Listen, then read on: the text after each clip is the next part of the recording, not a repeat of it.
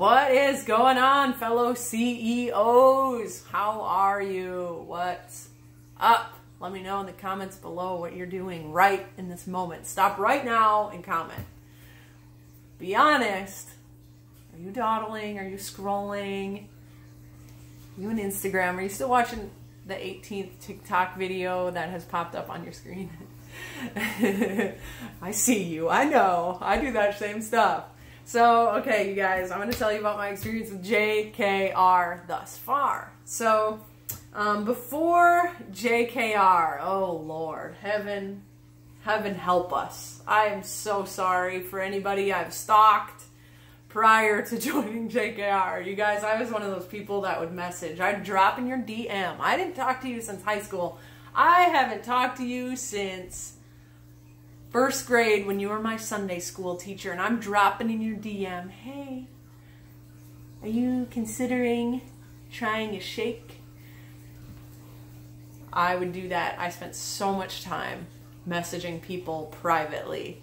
And I shared so many crappy memes that didn't mean anything to anybody except for me. And I I was really hateful to myself. I didn't think I was the person for the job. I thought, okay, I I'm I'm not the person. It's fine. I thought I had to achieve a certain like achievement standard in order to be worthy of gaining clients. I was pretty sad. Let me just tell you the whole backstory. So in March of last year, I retired myself from my corporate job. I had been working in that job for five years.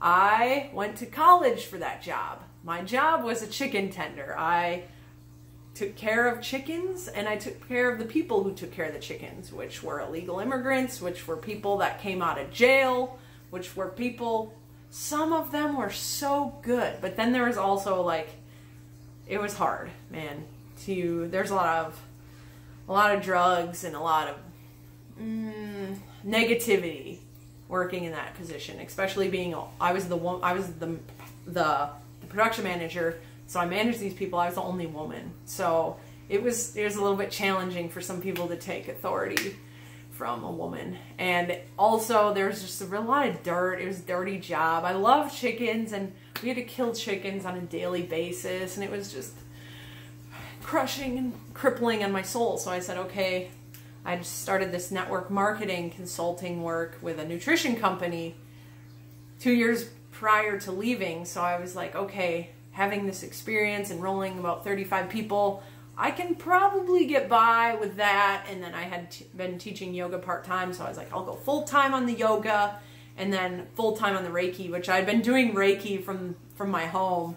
And I was like, I'll just rent a space and start doing Reiki and I'll get, I'll get through this, you know, and I started getting a little down. Summertime came, March was my last day at that job, and um, I, I, I contemplated going back in about summer. I I had some employees drive by the house and they begged me to come back, and I was considering it, even though even though it was like the worst thing. So now after joining JKR, you guys, thank the Lord. I am so grateful. I said yes to Travis. Travis had had been liking on my post. I noticed that, and all of a sudden he called me, and I was pretty pretty excited to jump on the phone with him to to hear about what he had because I was pretty pretty well struggling with my social media. I'm sure he's seen that. Uh, as far as like reaching out to people and getting those online clientele and I learned how to find what an ideal client is. I had no idea that was really a thing. I remember I learned a lot of the stuff, but I just didn't know how how to channel that energy and like change. So so I loved how Abby just got me channeled in. I'm like, here is a schedule of what you're actually going to do. And I wanted to do it to show her that it wouldn't work I was a little bit like, ah, it's not going to work. She told me to post stories. Huh, that's not going to work. Let me just show you how bad of a life I have. Nobody's going to want to watch my stories. And it wasn't even a week or two later, and I already had people people coming into my DM. It wasn't even my birthday, and they were messaging me. and I I am doing I'm not considering going back to that job at this point. Like I have more leads than I almost have time for right now. It's it's phenomenal. It really is. And what would you say to someone who is thinking about joining JKR? I would say just trust them. Trust Abby and trust Joe, Joe and trust Travis. Let them lead you. Like take them, hold on to their freaking hand and when they say do five day messenger process, do five day messenger process. When they say post every single day, post every single day.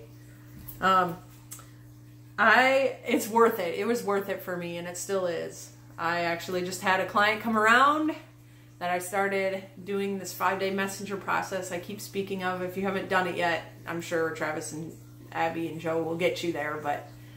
I she's coming around and it was back in September I did the messenger process with her and it is now January, and she is asking me, What is this?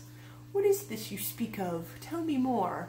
So I'm learning the right steps to take and how to use my energy to actually make a difference and tell my story. I'm actually telling my story, which me by telling my story, it's like it's like uh it's like going to therapy with my friends on social media. I felt I feel like I'm healthier now ever since joining JKR.